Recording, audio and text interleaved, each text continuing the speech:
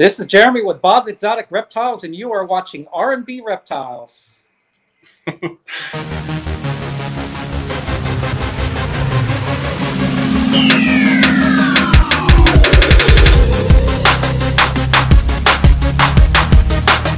right, so we're with Jeremy Baud over at Baud's Exotic Reptiles, and you guys are in for a treat. Make sure you go to his page and like this video, subscribe to him. Obviously, you're subscribed to us, so uh, check him out. I'll put his link in the description below.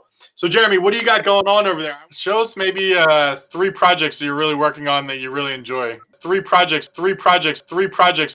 How about that? Um, well, one one that I was I was actually thinking about it earlier today, and you know, let's see if this girl has finally shed or not.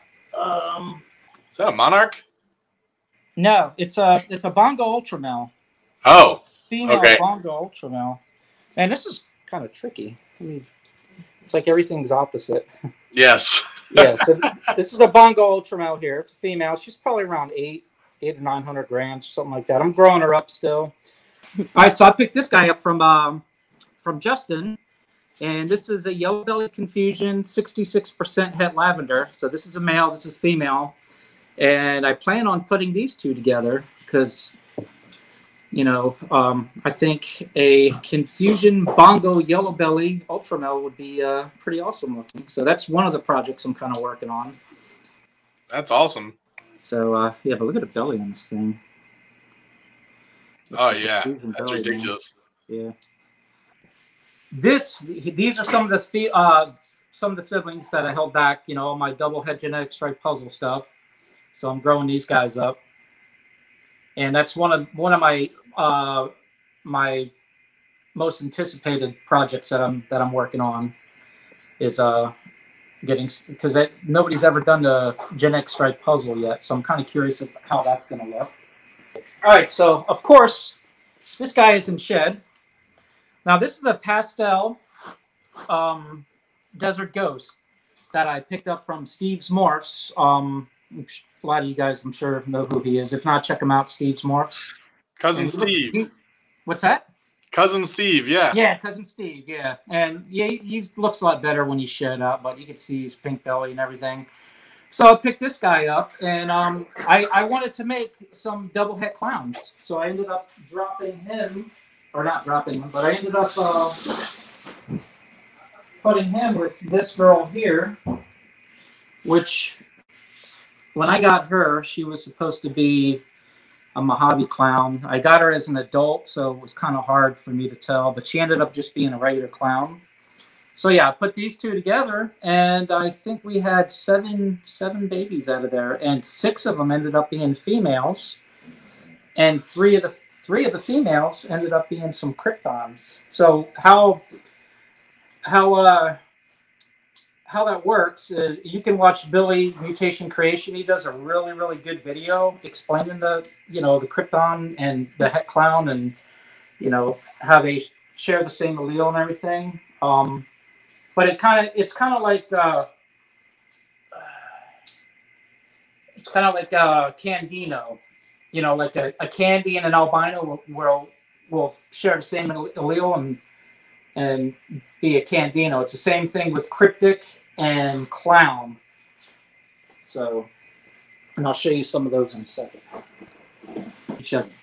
All right, so yeah, these are all the babies that I kept back. These are all girls.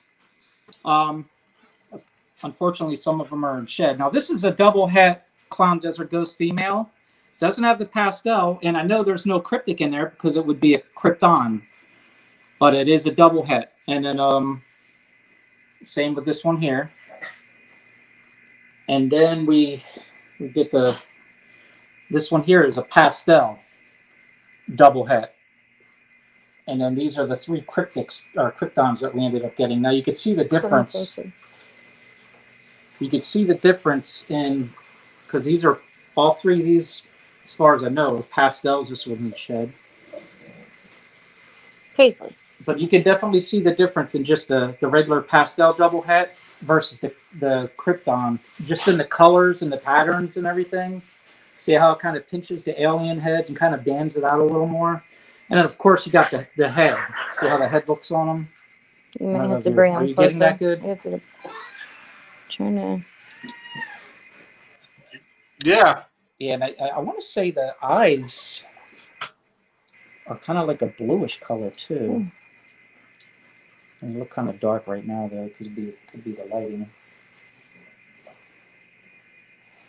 Yeah, it's pretty interesting. that the head on Kryptons is seems to be like a dead giveaway. So um, it's Yeah, it- pretty impressive. It's pretty cool. That's that's the reason why we we think we have a Krypton If you look at I'm couple Kryptons in, in our collection. See the, can you see the eye stripe? How it kind of looks like a puzzle.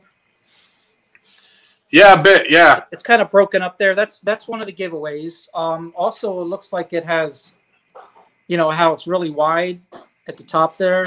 they're pretty, man. Yeah, unfortunately, half of them are in shed. Now, did you know that they that there's cryptic in No, I didn't. the No. pairing? Actually, when I was cutting the egg, the uh, the clutch, I had a YouTube video, and when I when I when I cut the eggs, you couldn't really see any of the heads yet, you know. But I did see the pattern on one of these and how it was really funky, and I and I was at this point, I'm still trying to. Hang on, let me uh, put these guys away. Yeah, no, I I, I just happened to be at a at a show visiting, and I, I seen Steve's morphs. I was checking everything out. It was a really small kind of a. it's a Pasco County, I believe, is, is the show, and it's kind of a, like a small one in a really small like ro- roller skating ring, and not one of the greatest shows, you know. And just happened to be walk, walking around there and checking everybody's stuff out, and then I seen that and picked it up, and had no idea, and you know, kind of worked out great for me. So all these animals I'm showing are females. Now this is just a pastel, but it's double het desert ghost pied. Now to me it looks like the the uh, I don't know if you can see it very well on there, but it looks like these are like more like a burnt orange almost. And I don't know if that's something that the Het Desert Ghost is doing or if it's uh some kind of an influence in the cryptic.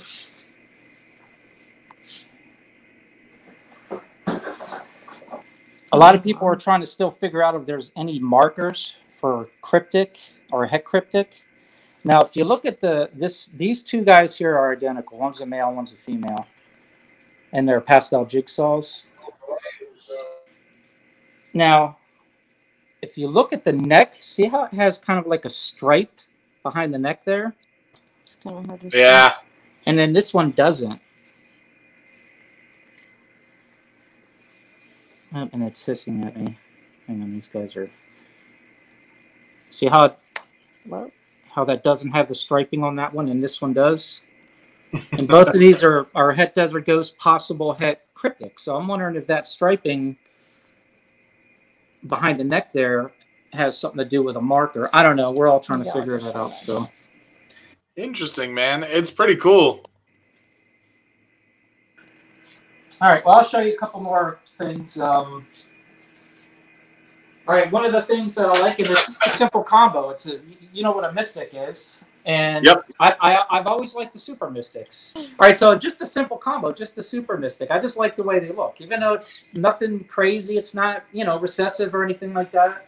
But I just like the way they look. Uh, this is actually the second snake that I bought when I decided to start breeding you know, that's a male, just a super mystic, you know, so I wanted to make more of those and keep a couple females back. This is that's a super mystic female.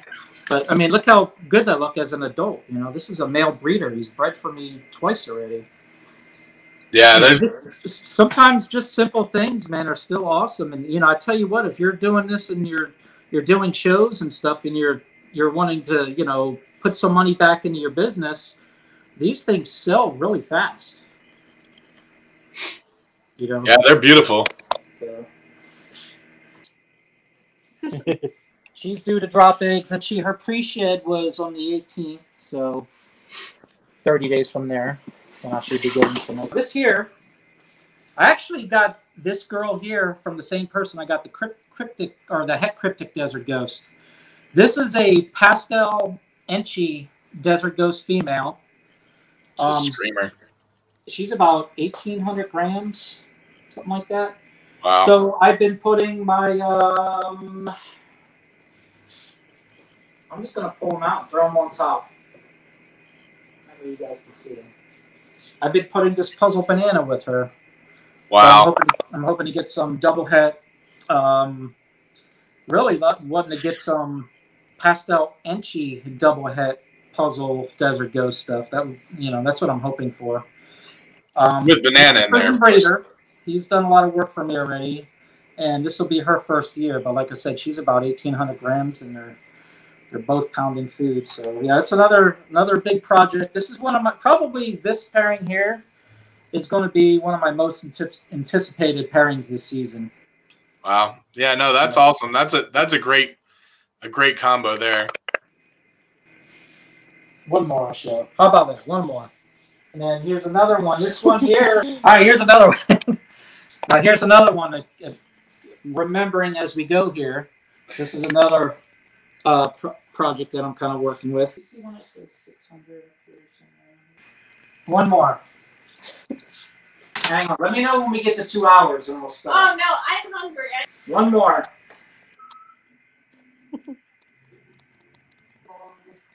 Yeah, no, I got All right, Jeremy, thank you so much for showing us around, showing us all your collection.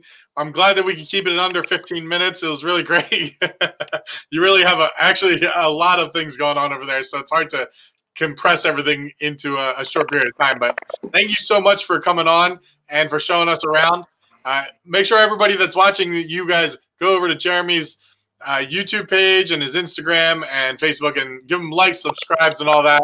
Also, make sure you're liking this video. Comment down below if you have any questions for Jeremy, and we'll get it out to him. And thank you guys so much, and we'll see you on the next one. All right. Thank you very much, Ben, for having me on. And we did it in what, 17 minutes. So that was great. Yeah, it was awesome.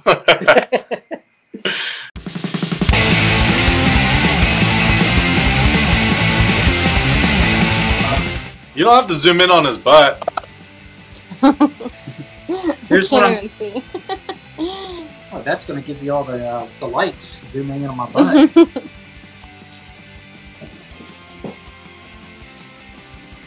It's away. Actually, you had Phil on the other day, didn't you? On Herp House Rock. Yes, I did. Yeah, all these guys came from him, and which was nice. Is we asked for seven of them, but we we didn't want like any, you know, male and female from the same clutch. So he actually separated, you know, and gave us from different clutches. So when we do breed in the future, they're not going to be siblings. But, That's um, awesome, man. Yeah, this is an ornate ornate Uromastyx. Uh, this is probably the one that's starting to color up the most because he's just a pig, and uh, he might end up biting me. I think she said this is like one of the ones that's snippy, but yeah, he's looking really nice, coloring up. We're not sure if he's going to be blue or green. This is one of our future projects. You know, we got to grow him up, obviously. Um, yeah, this is something that we're kind of excited about. I was just saying that's exciting. Clown pies.